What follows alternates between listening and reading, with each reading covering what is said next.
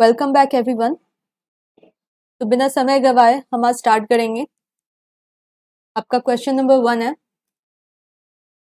In the following which is fundamental physical quantity A force B velocity C electric current D work या फिर E none of the above या more than one of the above निम्नलिखित में से कौन सी मूलभूत भौतिक मात्रा है? ए बल बी वेग सी विद्युत प्रवाह डी कार्य, या फिर ई उपरोक्त में से कोई नहीं, या उपरोक्त में से एक से अधिक? आंसर करेंगे।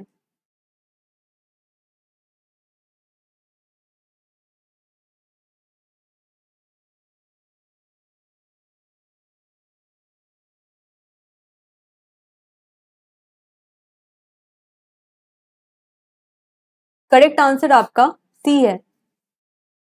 Question an example of longitudinal wave is A radio wave B sound wave C X ray D gamma ray या फिर E none of the above और more than one of the above अनुदैर्य तरंग का एक उदाहरण है। A radio तरंग B ध्वनि तरंग C X ray D gamma किरणें, या फिर ई उपरोक्त में से कोई नहीं अथवा उपरोक्त में से एक से अधिक।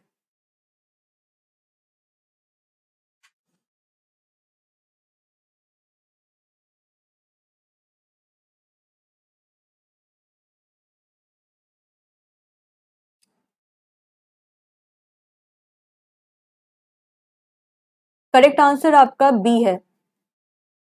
Next question dispersion of light is possible by A prism B convex lens C concave lens D simple mirror या फिर E none of the above और more than one of the above प्रकाश का फैलाव इसके द्वारा संभव है।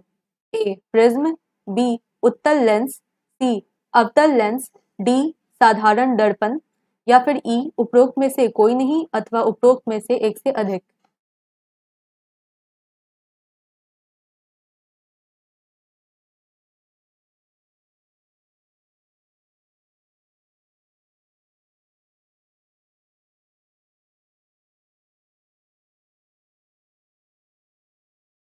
आंसर है आपका A prism next question at which temperature the Celsius and Fahrenheit scales coincides zero degree B ten degree C minus forty degree या फिर D forty degree E none of the above और more than one of the above किस तापमान पर Celsius और फॉरन Fahrenheit scale मेल खाते हैं?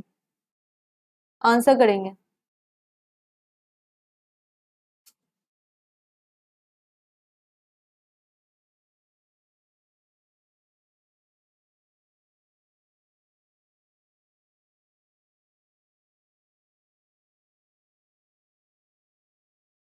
इसका आंसर है आपका C next question the power of lens is measured in A watt B ampere C volt D dioptre E none of the above और more than one of the above इसमें I think ये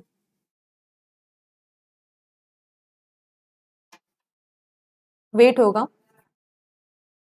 answer करेंगे इसका।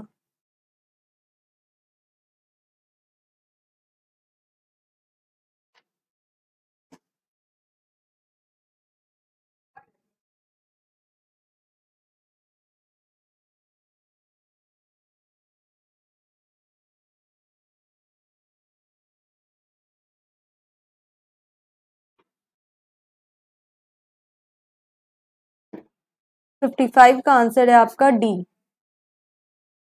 next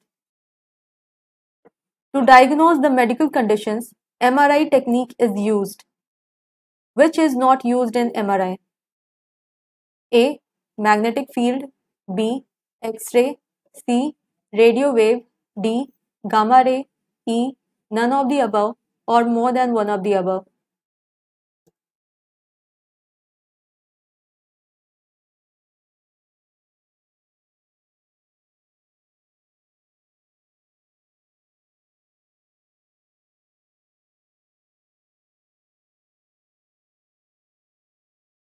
above 56 का आपका correct answer है E more than one of the above next question When a sound wave goes from one medium to another, the quantity that remains unchanged is A. Frequency B. Amplitude C. Wavelength D. Speed या फिर E. None of the above or more than one of the above. जब एक ध्वनि तरंग एक माध्यम से दूसरे में जाती है इसकी हिंदी थोड़ी थोड़ी गलत है, आप समझ जाए। ए आवृत्ति, बी आयाम, सी तरंग धैर्य या फिर डी गति, या फिर ई उपरोक्त में से कोई नहीं, या उपरोक्त में से एक से अधिक।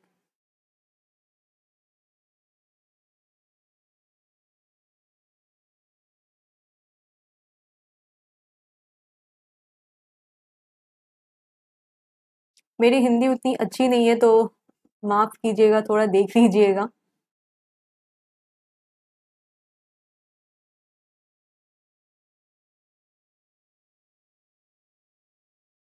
फिफ्टी सेवन का करेक्ट आंसर है आपका। A frequency next question light year is a unit of A time B distance C speed D force या फिर E none of the above और more than one of the above प्रकाश वर्ष की एक इकाई है।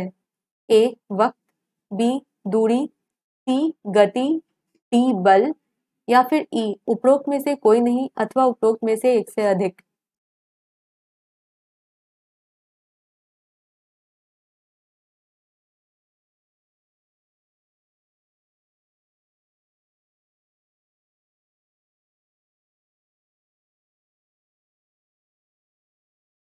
करेक्ट आंसर है आपका B next question which particle is free of charge A alpha particle B electron C neutron D proton या फिर E none of the none of these और more than one of the above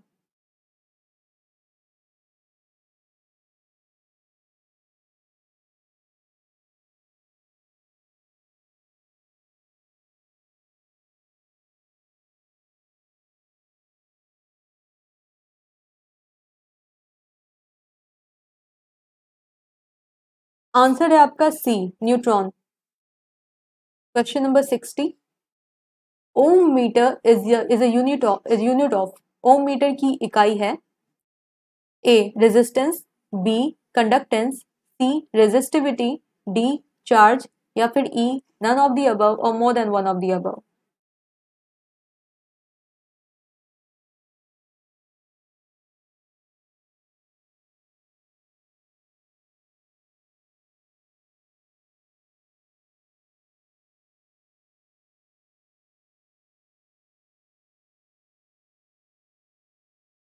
correct answer है आपका C resistivity next question the chemical formula of sapphire ruby is L two O three B L three O two C N two O D N O two या फिर E none of the above और more than one of the above answer करें.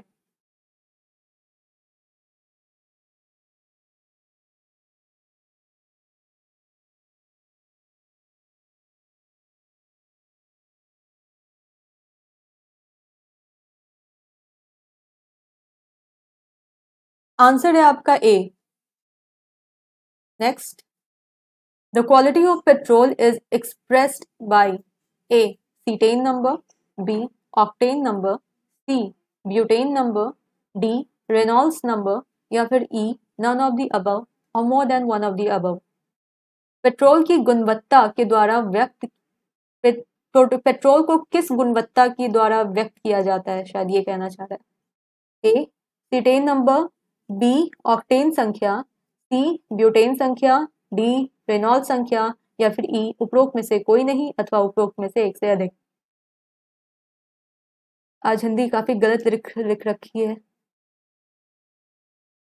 उम्मीद करती हूँ आप समझ रहे होंगे।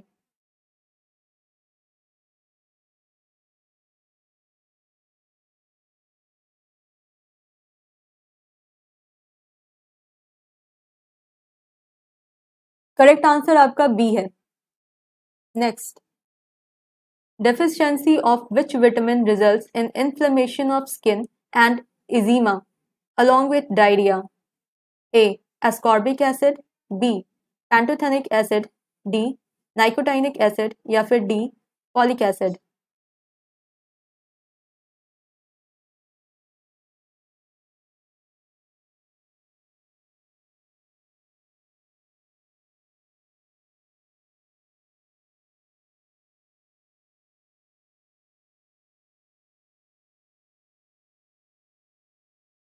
आंसर है आपका C next question an example of antibiotic medicine is antibiotic दवा का एक उदाहरण है A aspirin B paracetamol C chloroquine D penicillin या फिर E none of the above और more than one of the above answer करें.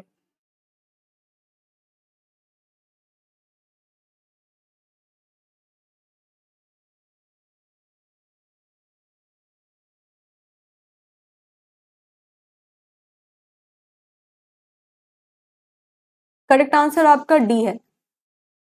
Next the major component of C N G is A C O three B N two C H two D C H four या फिर E none of the above और more than one of the above C N G का प्रमुख घटक है। बताइए क्या है?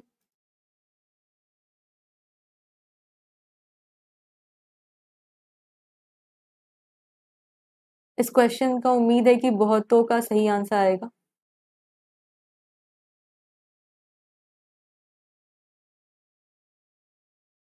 पहले इसका सही आंसर है आपका D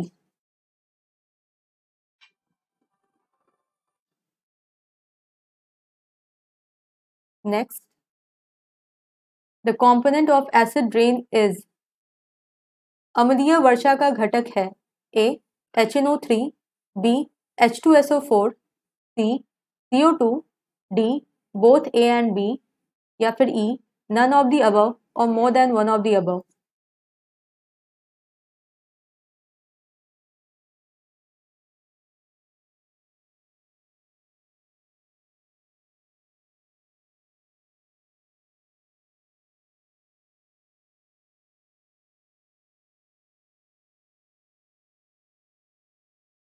Sixty six का करेक्ट आंसर है आपका D next the chemical formula of heavy water is A H two O B N two O C D U D two O या फिर डी सी यू ओ या फिर E none of the above और more than one of the above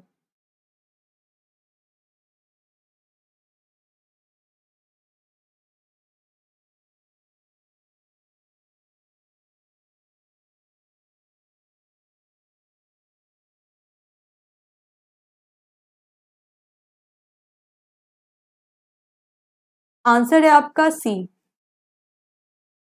next the pH value of water is A four B seven C twelve D eighteen या फिर E none of the above और more than one of the above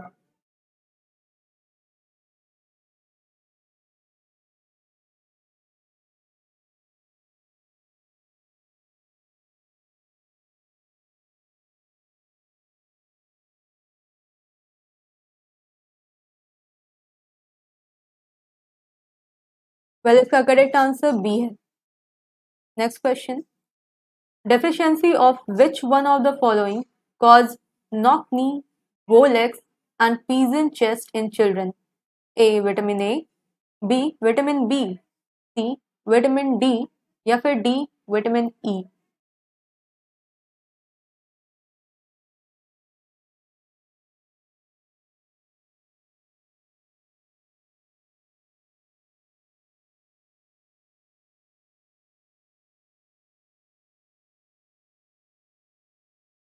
Answer है आपका vitamin D.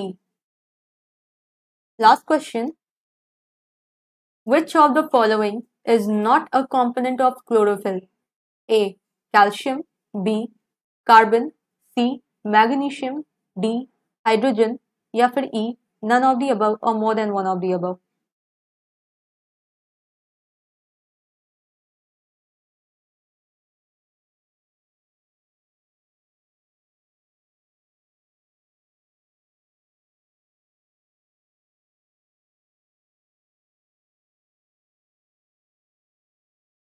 correct answer है आपका A तो जल्दी जल्दी अपना स्कोर बताएँ। कितनों ने कितना सही किया है?